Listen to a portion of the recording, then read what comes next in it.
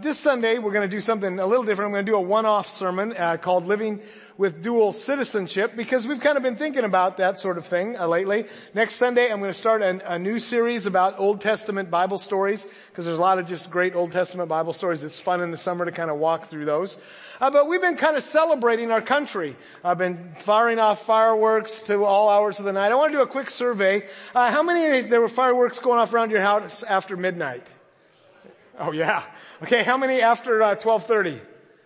Okay, one, 1:30, two, three. Holy mackerel. okay, I'm just going to stop there because I don't want to know after that. Uh, we, you know, it's been a big deal kind of lately. Um, so if we have some kids in here, we have some of our children. I want to ask you, um, what, what was the best part of Fourth of July for our children? Just shout out what the best thing was for you.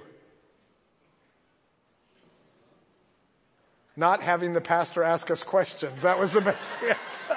okay. Well, we'll uh, go over that. We, we are so blessed really to be citizens of the United States. Amen. I mean, we just, you know, and whether if you're just here as a resident that, to be a part of the United States is a, is a tremendous sort of gift and we've been celebrating our freedom. We have a wonderful country. I love our country. I know it's not perfect. But we really do have a wonderful country, and if you've traveled around the world, you'll understand uh, how blessed we are to be a part of the, the United States and and uh, and have our citizenship and and be a part of this larger sort of thing. But it, it's it's both a blessing and a responsibility, isn't it? We citizenship comes with great gifts and and great responsibility, and so we want to kind of talk a little bit uh, about this. Uh, in, in in Paul's time, when the Bible was written, the greatest country in the world was anyone know? Rome, yeah, it was a massive empire. It was what everybody wanted to be a part of, uh, and, and, it was a, an important sort of thing. And only one of the apostles that we know of had Roman citizenship. Roman citizenship was very hard to get, but the apostle Paul um, actually was a Roman citizen. Uh, and so he uh, he kind of talks about that a little bit, and he makes some unique analogies to what it is to be a follower uh, of Jesus uh, f- for us as well. Uh, he enjoyed uh, being a part of Israel because he was born a Jew, and he enjoyed being a part of Rome because of his because he was a part of a he was the descendant of a Roman citizen, so he inherited his citizenship. He had this dual citizenship. Any of you have dual citizenship? Do we have anybody with dual citizenship? Yep, we got one, we had several in the eight o'clock service. It's a great, yeah, another one there. It's a great privilege to have, to have dual citizenship. And for those of you who have dual citizenship, now you're going to find out you have triple citizenship. I don't know what the, what they would call that. But, but there's a sense in which you have a, you have citizenship here and you have citizenship in heaven. And so, uh, Paul, when he writes to the Philippians, talks about this idea of citizenship and how it relates uh, to being followers of Jesus and how it relates for us. And so I, I want us to look at it. It's found in Philippians chapter 3.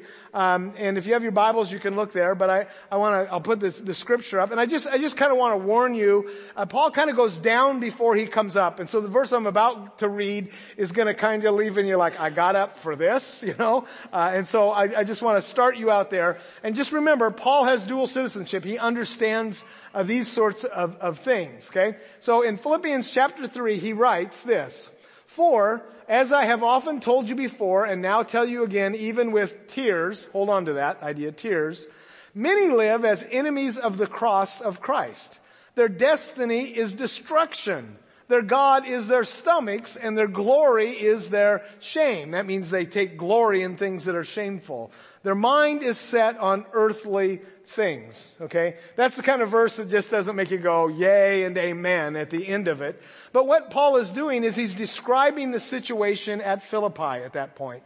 Uh, Philippi was a, um, a Roman outpost, a Roman uh, kind of city, uh, but but like Rome, it, it had all of the good and all of the bad, and there's a lot of wickedness in Roman cities in ways that just go beyond what you can possibly uh, imagine today. Uh, the the brutality, uh, slavery, uh, sexual sins of every kind and shape that you would ever think of, and things probably, hopefully, you've never thought of before, were were a part of this. And to to these Christians at Philippi, they had to live in the midst of this and the, all this stuff that surrounded them. And, and what Paul is saying in this passage is, sinners, sin.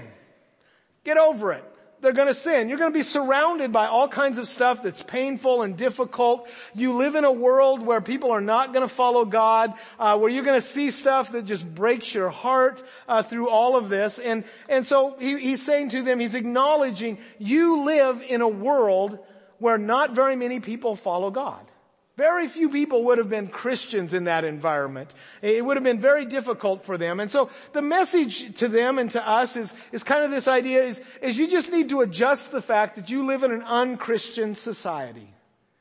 And in many ways, I thought there's some timeliness to that kind of a message coming out of Paul. That, that, that as much as I love my country and, and many things were kind of built on, on Christian values, we live in a world where our country is increasingly moving away from values of Christ. It, it just is. We just live in that kind of world. There's all kinds of things going on around us and you can pick whatever your favorite example of that is, but, but the world is just changing all the way from Supreme Court rulings that we're not comfortable with to burning churches in the South to, to slavery that's allowed and all, all kinds of just crazy stuff that goes on in the world in which we live. And so Paul was acknowledging that. Life is hard. You are surrounded by people that, that do awful, terrible things.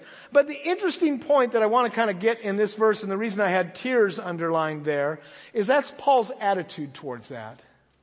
Paul, when he looked around and he saw all the brokenness and all the shameful things that we're doing, I, I love that verse. They, they glory in their shame. They, they take pride in doing things that are shameful and, and, and destructive. Sometimes our response is anger. But Paul's response was tears.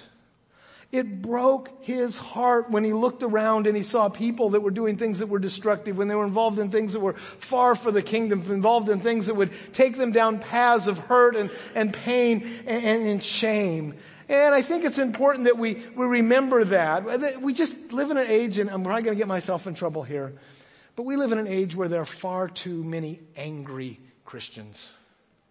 They're just, they're just mad and they're, angry and they say stuff and they, they do stuff. Can we allow our hearts to be broken over sin rather than to attack sinners?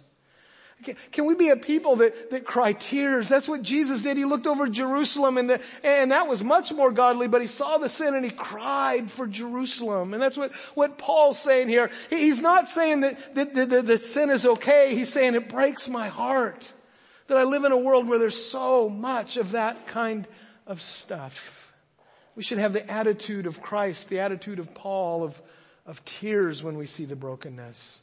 And then he goes on to give us some advice about how to live in this world where you're surrounded by, by people that don't follow God and surrounded by sin and surrounded by things that would pull you the wrong way and, and would end in your destruction. In verse 20 he says, but, but is a really good word because it means all that stuff that came before, I have a better plan. But, but our citizenship, and that's a really important word, is in, tell me the word, heaven.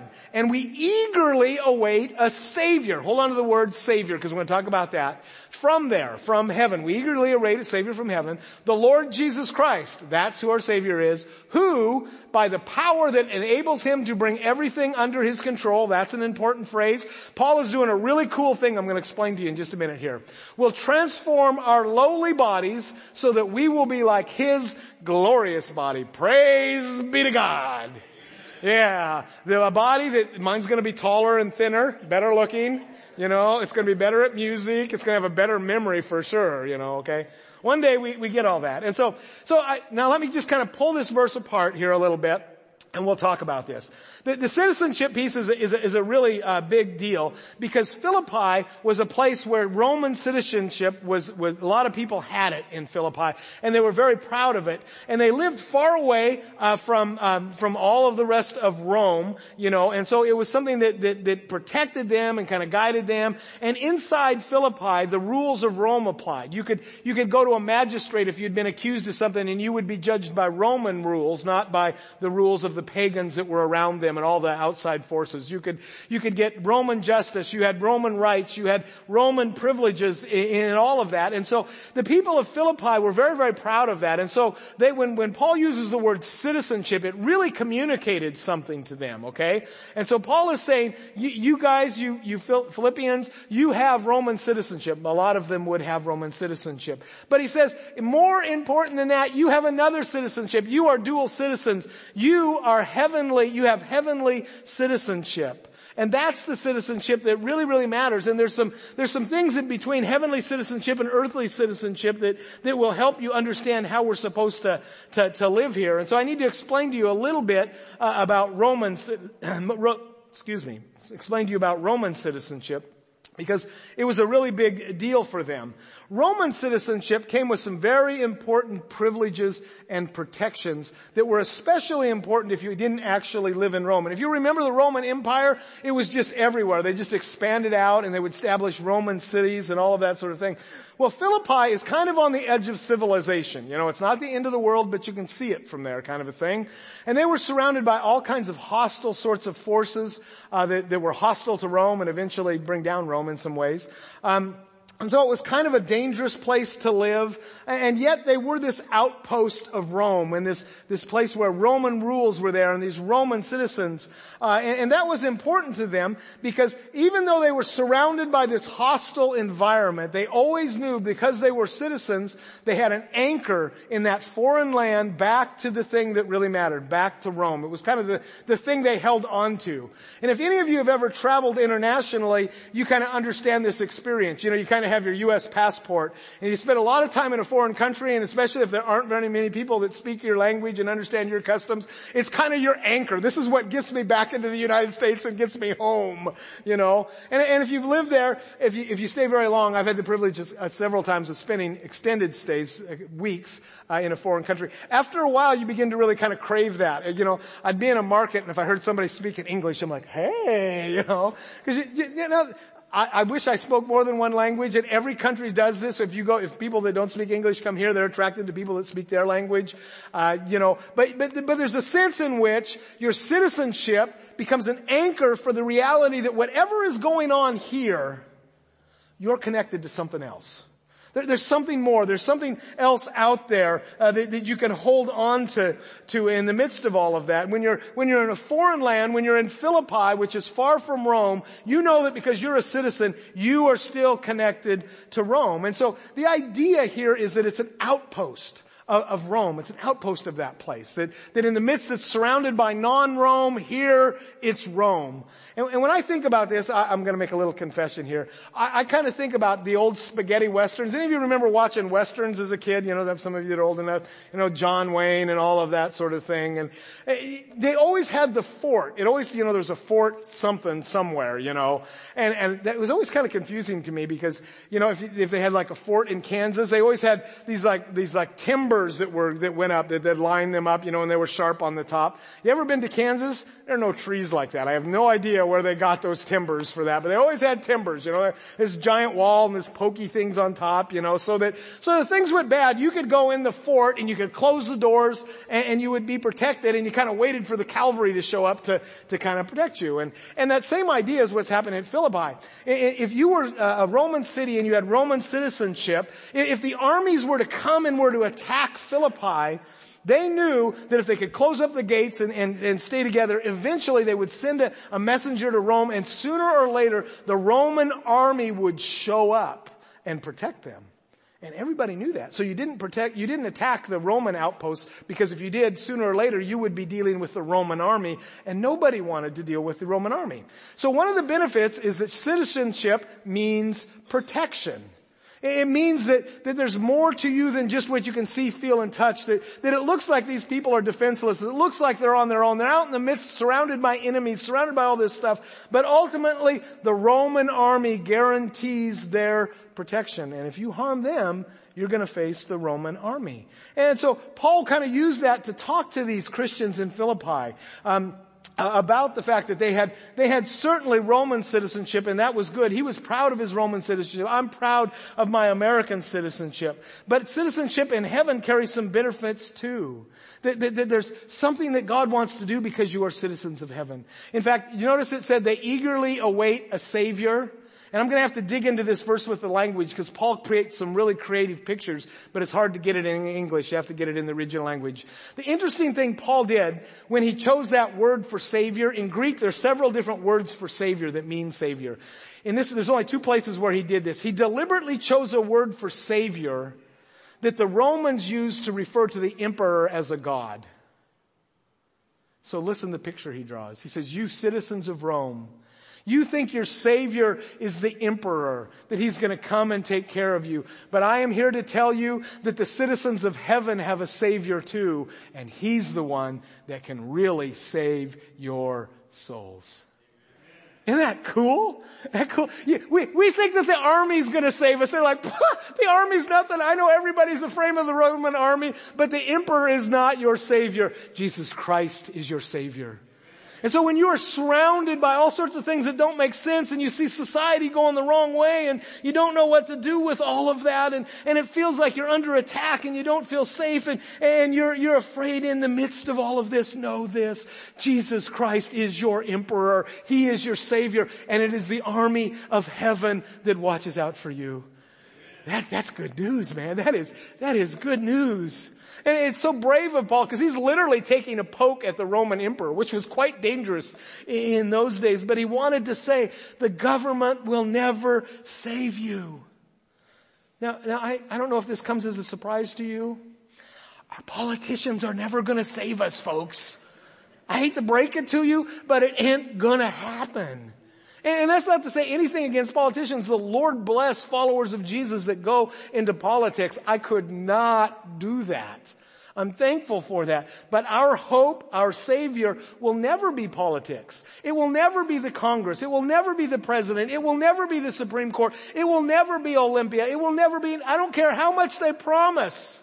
And you think, well, if my party only had more power, the emperor had absolute power. The point is, the government, Rome, will never ever save you. Our Savior is Jesus Christ. And that's so important that we get a hold of that because our safety comes from that. So everybody, everybody take a deep breath, go, now let it out. You have a Savior from heaven. So relax. It's okay. God is still in charge. There's a little meme going around on Facebook that says, whoever the president is, God is still king. Praise be to God. You know, it's just relax. God's army is protecting you. And, and kind of, there's kind of this wonderful image here that, that, that, you know, the Romans, that the Roman army would come when you're under attack. When you feel like you're oppressed and, and, and things are coming after you, I want you to know that the army of the living God is coming for you. And I really think sometimes if we could see things spiritual, we would be amazed at how many encounters we have with angels and how much the, the army of the Lord is around us. I've gotten so when I pray for people that are going into surgery or sick, I'll say, Lord, just fill that surgery up, wingtip to wingtip angel. I, I, think that may be true. I think that the army of the Lord is around us all the time. Our hope will never be in government or military or any of that things, the stuff of this earth. Our hope is in the Lord Jesus Christ. He's the one that will save us ultimately. And interestingly, when he talks about um, that, that, he's going to put all things under his control, the Greek word there again is really strong. We kind of think of all things as like, yeah, almost all of it. But in Greek, it means like every single little detail. It's a really strong word that means he will miss nothing. Virtually everything will be under God's control. That's the kind of protector I want personally. I mean, you guys like this idea? I mean, is this a good thing? You know, it is. And so, so then he goes on to say, verse, verse four, he says this, therefore, I love that. That's another one of those good. Therefore, because of all of the things I've told you, because you are citizens of heaven, because God is your protector, in the midst of all the craziness that's going around you, you're worried about the, the burnings of churches in the South, you're worried about the Supreme Court, you're worried about the Congress, you're worried about society, you're worried about, worried about, worried, worried about. In, in light of all of that, God is your protector. You are citizens of heaven. Therefore, my brothers and sisters, you whom I love and long for, my joy and crown. Last week we talked about crowns. Stand firm in the Lord in this way, dear friends.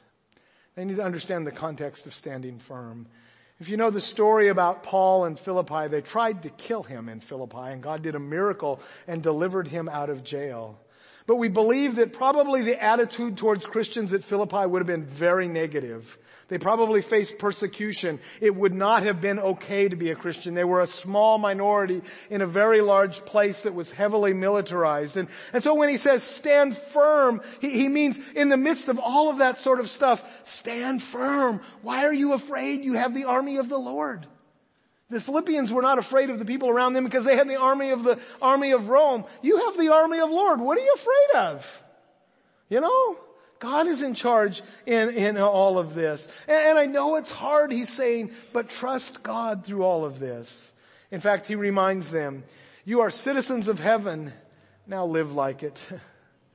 Sinners sin, but that's not who you are.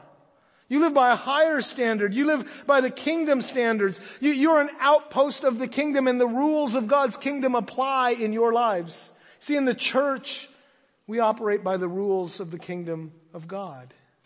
That's why in society it may be okay to slander one another and talk bad of one another, but in the body of Christ that is not okay. We treat one another like Christ has treated us. We're an outpost of the kingdom. The rules of the kingdom are in this place. So stand firm. Because if you could see what's standing behind you, it's a giant angel of the Lord with a fiery sword. He's watching out for you. So let me give you quickly some, some action steps, some, some citizen action steps. You are citizens of the kingdom, okay? Number one, worry less about Rome and think more about heaven. Worry less about Rome and think more about heaven. There are far too many followers of Jesus that worry a lot about Washington DC and don't think nearly enough about heaven. And when you do that, it kind of gets things out of whack and you begin to worry and you get concerned about all of that. And then Christians get all worked up. I am meeting Christians more and more that are all worked up and they're so angry and they're, they're have you heard about this? You know about that? And, yeah, da, da, da, and the world is falling. Pretty soon their eyes are bulging and the, the vein on their head is poking out and I'm thinking I'm going to have to do CPR here in a minute. You know? I want to say to them, the emperor is not in charge. God is. He's, he's the one that's, he knows what our Supreme Court does. He knows what our, our, Congress does. He knows what our president does. He knows what all of that stuff. And he is still in charge. Why are you focusing on that stuff? The negative, the ugly, the, the hurtful.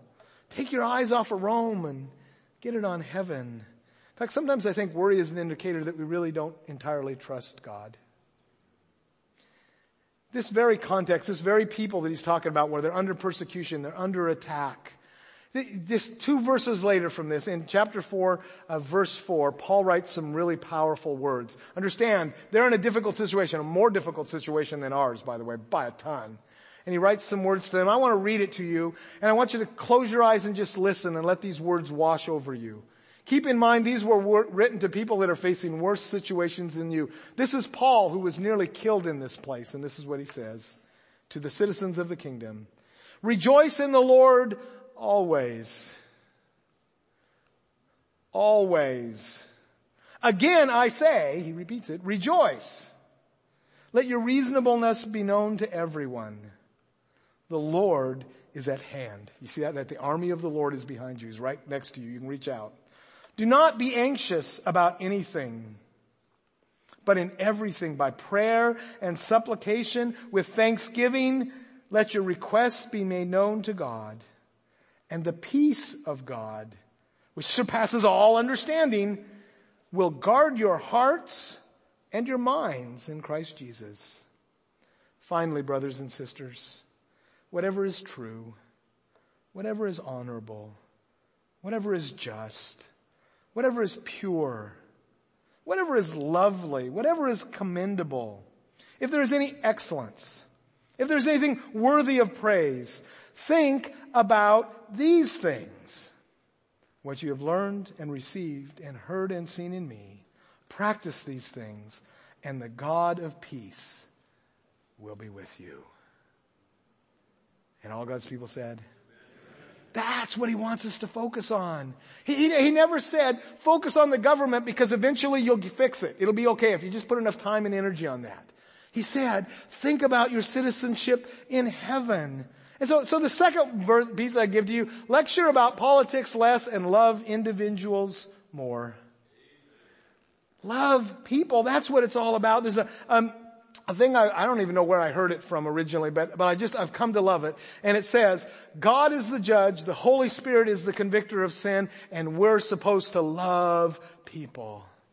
We like to turn that upside down sometimes. We want to play judge. And we want to make sure that they get under enough conviction, taking over the role of the Holy Spirit. And boy, I sure hope God loves you because I'm not too sure. No, it's the opposite.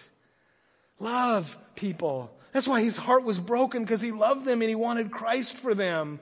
And we live by different rules. We're, we're supposed to return good for evil. We're supposed to turn the other cheek. We're supposed to go the extra mile. We're supposed to love like Jesus.